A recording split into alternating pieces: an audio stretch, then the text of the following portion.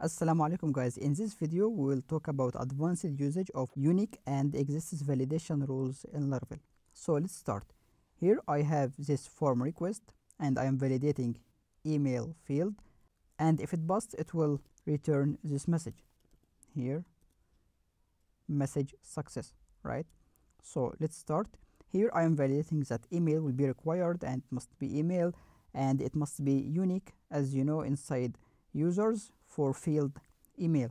So I have these emails ahmad at mail.com and muhammad at mail.com and if I want to try to create a new user with that email that already exists I will receive this error, error message. So let's rewrite it using rule class.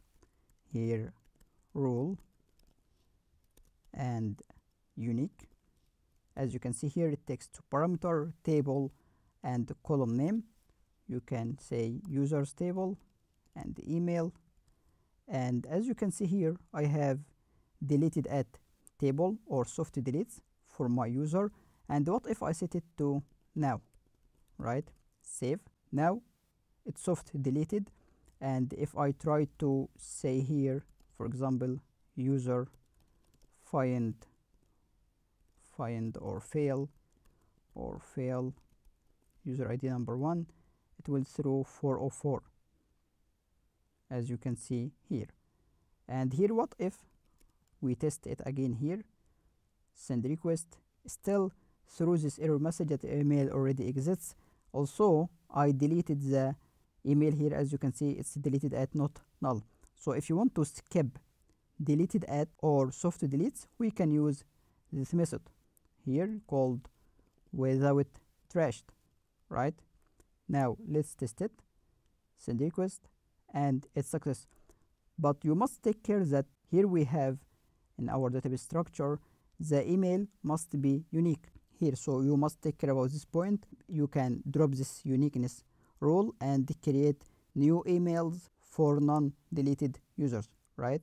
Otherwise it will throw mysql error message. So let's take it back again to null and also back here to our rule.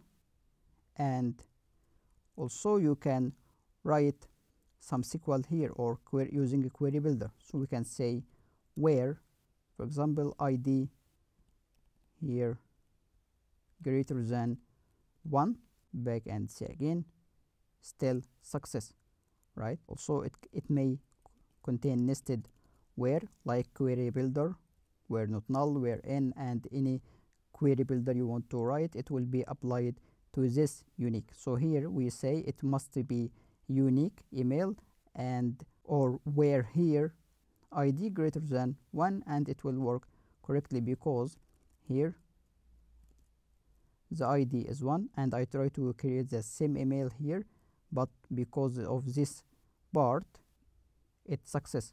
What if I delete it? It will check all rows. Send again. Now it's failed back here and this skip in id greater than 1 send it's success right?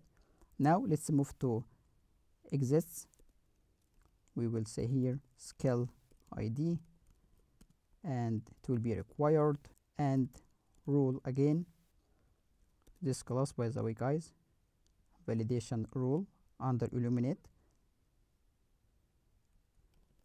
It must be exists in table skills and id right? Back to see our skills table. Here skill active and inactive status and also contains soft delete.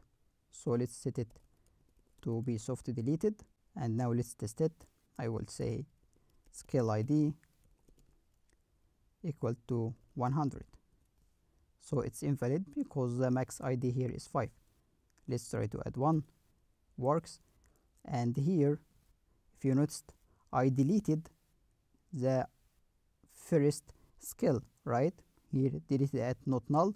So if you want to skip trashed or soft deleted rows using exists like unique here we can say without trashed. So back and check again.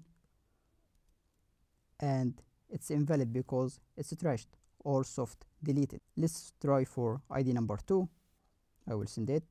It's valid because it exists and none soft deleted. Also if you want to check and writing a query builder here for that to check for example skill also must be active. We can say here where status equal to active. The id number 2 its status is inactive so it must throw an error as you can see the selected skill id is invalid. Let's select id number 3 it's not soft deleted and active also. In this time it will work. Send.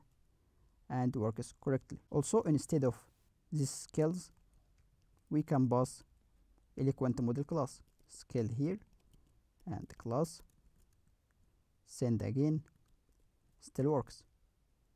And last thing about unique that I forget to mention here let's remove it using ignore. So it will be unique for users and email field. We can say ignore the id value. It will be 1 so you can validate all rules and ignore id number 1 back and set again. Must be email. Send again. It works. Also you can pass a model and it will be detected by Laravel so for example you can say here user equal to user first. And you can directly pass the model here. Send the same result. It's useful for these cases for example. If we set here model binding parameter as maybe user right? Or even we can do it like that. Now set this user by using auth and login using id and I will login as user id number one and we can ignore as auth user. Send again. Still works even you can pass the id again still works. Here's some quick tips about unique and exists validation rules in laravel. If you found it useful support me by clicking on like share and subscribe. See you in next videos